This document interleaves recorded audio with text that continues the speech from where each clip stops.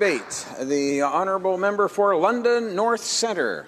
Thank you very much, Mr. Speaker. It is a great honour and pleasure to rise in the House today to speak about the government's plan to repeal provisions in the Citizenship Act, as this is, as this is a concern relating to citizenship, which is so central to Canadian identity, and matters of immigration, which are central to the Canadian story. It is especially an honour as the son of immigrants to be here today. I want to also mention, uh, Mr. Speaker, that I will be sharing my time with the member from Davenport. As the provisions only apply to Can Canadians with dual or multiple citizenships, they contribute to the creation of a two tiered system, Mr. Speaker. It is unacceptable in a democratic society that dual or multiple nationals are vulnerable to losing their citizenship. Mr. Speaker, this was a point that was raised time and again by stakeholders and private individuals when the previous legislation, Bill C 24, was first introduced. Groups as varied as the Canadian Bar Association, Mr. Speaker, the, the British Columbia Civil Liberties Association, the Canadian Association of Refugee Lawyers, the Ontario Council of Agencies Serving Immigrants, and Amnesty International. I would like to quote just a few of these concerns, Mr. Speaker. David Matas of B'nai B'rith, who testified before the House of Commons Standing Committee on Citizenship and Immigration, stated, and I quote, that we should not be revoking the citizenship of Canadians for crimes committed after the acquisition of citizenship, no matter what the crime, Mr. Speaker. And I want to emphasize that point that Mr. Matas made. I'll continue with his quote Once a person becomes a Canadian citizen and commits a crime, then he is our criminal, Mr. Speaker. We should not pretend otherwise. Barbara Jackman, speaking on behalf of the Canadian Bar Association, stated before the same committee that, quote, for people who are born here, who have grown up here, if we can result, it can result, excuse me, in banishment and exile.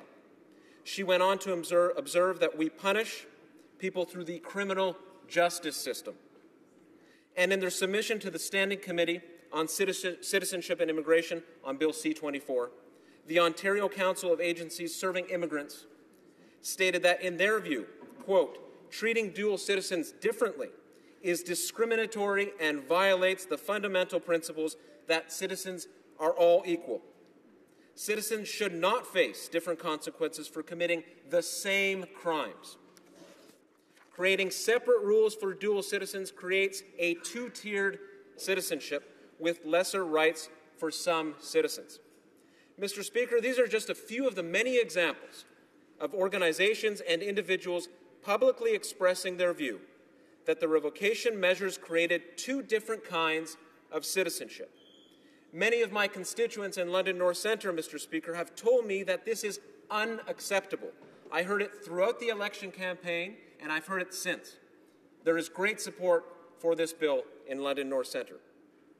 My constituents want all Canadians to be treated fairly and with a high level of respect. London, Ontario was built on immigration, and many Londoners hold dual or multiple citizenship, Mr. Speaker. These are extremely proud Canadians who value and respect this beautiful country. We have an obligation to be fair and respectful to them as well. Our government has listened to these concerns, and Bill C 6 clearly addresses them.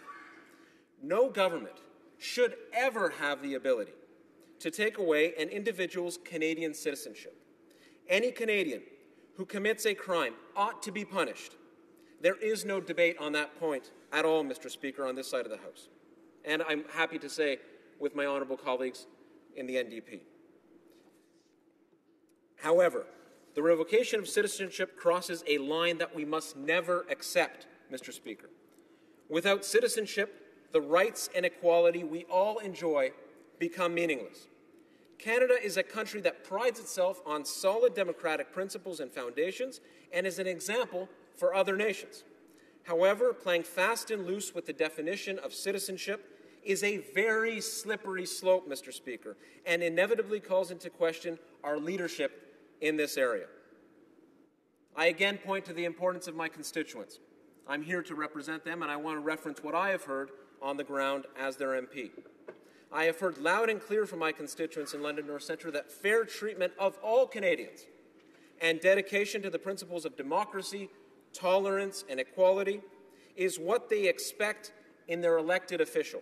And more than this, in the Government of Canada, Mr. Speaker. I would also like to add that while this position reflects my stand and that of our government, it was a former Conservative Prime Minister, John Diefenbaker, who held this view, and I'm glad to continue that point in the debate that will, I assume, follow. By introducing this bill, we are taking concrete steps to return to a system where all citizens are created equal, treated equal, excuse me, regardless of whether they are dual or multiple nationals, Mr. Speaker. This is a commitment our party made before forming government, and we are following through now. This is a matter of principle and fundamental values for us. There should be one tier, only one tier, of Canadian citizenship. I have no doubt that members in this House are concerned about security, and I want to turn to that point now for a moment. I can assure all of them that we remain unwavering in our commitment to protect the safety and security of Canadians. Canadians convicted of treason and terrorism will be dealt with through our justice system, Mr. Speaker. As the Minister of Immigration has stated, we have courts and we have prisons in Canada. Offenders will not go unpunished. As well, there are measures in place for someone, excuse me, as well, there are measures in place before someone becomes a citizen. A person may, may be denied a visa or other travel document, refused entry to, or removed from Canada for security reasons or criminal activity preventing them from becoming citizens. Furthermore, prohibitions, gr- prohibition grounds in the Citizenship Act remain in effect, barring individuals convicted of certain offenses or who are engaged in activities against the national interest from acquiring citizenship in the first place.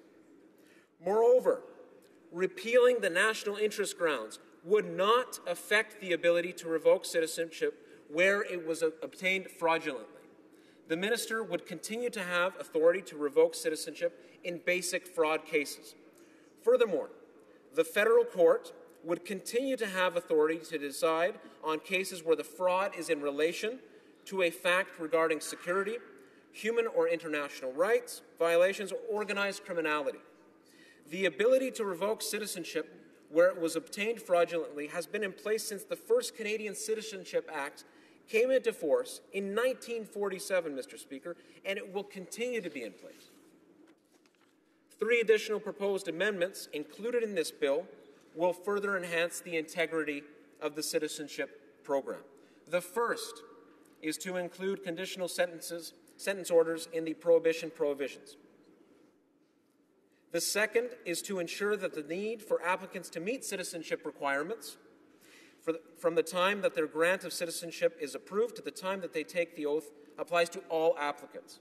The third would provide authority for the minister to seize documents that are fraudulent or are being used fraudulently when provided for the, uh, the administration of the Citizenship Act.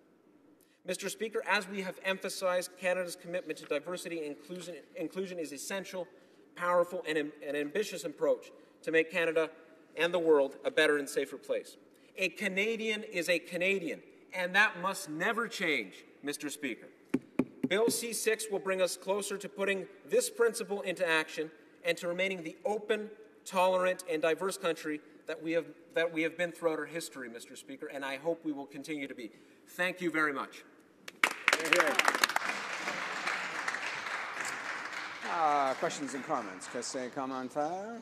The honourable member for Cumberland Colchester. Thank you very much, Mr. Speaker. I appreciate this. Uh, look, I, I, want to commend the member, member from London North Central on his remarks, and I know he's uh, well qualified to talk about this issue, and he has a genuine interest in safety and justice and security for all Canadians.